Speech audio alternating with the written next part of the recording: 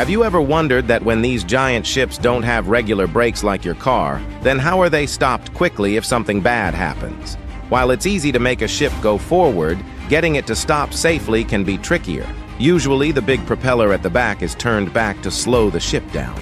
But if it's a real emergency, special workers are used to drop a super heavy chain to make the ship stop much faster.